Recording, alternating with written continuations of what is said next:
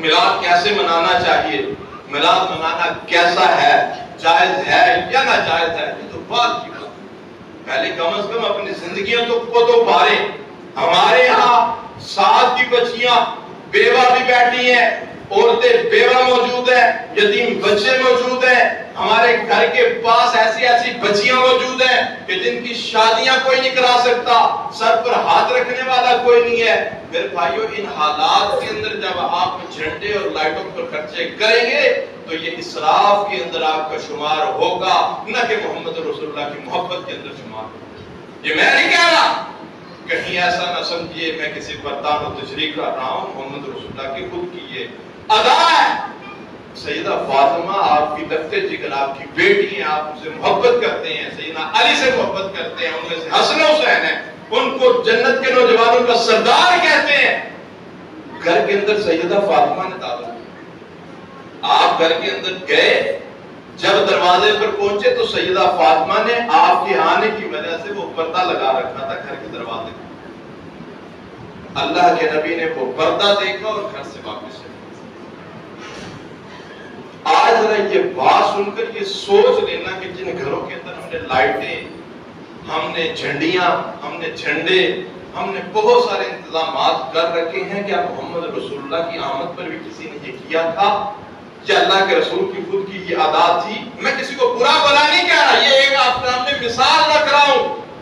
अपनी बेटी, अपने लगते जिगर के, जिसके घर के पास से गुजरते थे हाल हवाल पूछते थे, आज घर के अंदर बाबा की दावत करके बैठी है, दरवाजे के सामने पर्दा लगा रखा है। मेरे बाबा मेरे घर के अंदर आने वाले हैं। मोहम्मद रसूलुल्लाह शाफिर महशर, रहमतुल्लाह के कदम इस घर के अंदर पड़ने वाले हैं। उसके लिए इंतज़ाम कर एक पर्दा लगाकर मोहम्मद रसूलुल्लाह दरवाजे से वापस चले। एक सहाबी ने सैयद अली को देखा, बड़े परेशानी के अंदर घर से बाहर आए। कि इतना टाइम हो गया, मोहम्मद रसूलुल्लाह आए। जैसे ही बाहर निकले, एक साहबी साहब ने खड़े थे, कहने लगे, मोहम्मद रसूलुल्लाह, आए हैं। दरवाजे से वापस चले सैयदना अली गए मस्जिद नबी के अंदर, अल्लाह के नबी से पूछा, अल्लाह के नबी, वजह तो बतलाएँ। क्या वजह है? किस वजह से आप हमारे घर से वापस आ गए?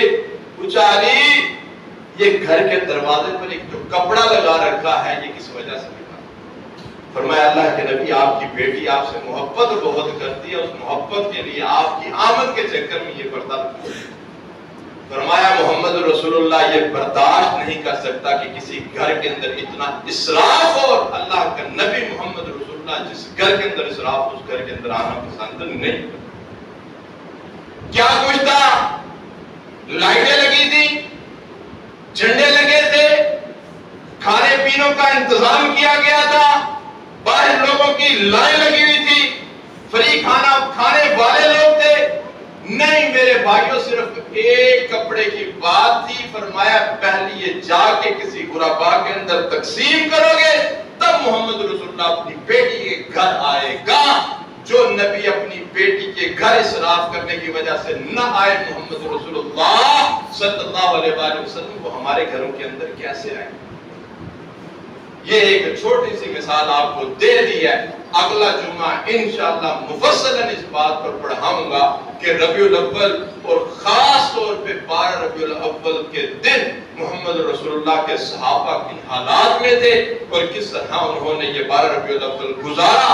आपसे एक गुजारिश करूँगा, अगर मोहम्मद रसूलुल्लाह से सच्ची मोहब्बत का दावा करते हैं, सच्चे मोहब्बान रसूल होने का दावा करते हैं, सच्चे आशिक रसूल होने का दावा करते हैं तो कम अज कम अपनी जिंदगियों को बदलने की कोशिश करें, अपने नमाजों को टाइम दें, अपने जुमों के अंदर कम अज कम टाइम से आना शुरू कर दें हम अपने आप को तब ही बदल सकते हैं जब दीन को सीखना शुरू करेंगे। अगर दीन को न सीखा तो क्यामत के दिन हमारा हाल भी ये होगा। कि अल्लाह ताला के सामने जब उम्मत रसूल पेश की जाएगी तो नबी करीम सल्लल्लाहु अलैहि वसल्लम को बताया जाएगा, अल्लाह के नबी आपके जाने के बाद ये फुला फुला लोगों के पीछे चले थे, सिर्फ़ इस वजह से कि इनके सदके से, इनकी वजह से अल्लाह हमें मुआफ कर देगा। तो अल्लाह के नबी फरमाएँगे, सुहकन सुहकन। वो नबी जो कयामत के दिन उम्मती उम्मती करेगा वो नबी भी हमसे मुँह फेर लेगा, अगर मोहम्मद रसूलुल्लाह के अफआल व से हम मुँह फेर लेंगे। अल्लाह से दुआ है कि अल्लाह ताला हमें नबी करीम वसल्लम के नस्बुलैन के मुताबिक, जो उसवा हसना है उसके मुताबिक, जिस तरह मोहम्मद रसूलुल्लाह ने हमें बतलाया, ऐसे ज़िंदगी गुजारने की तौफीक अता फरमाए।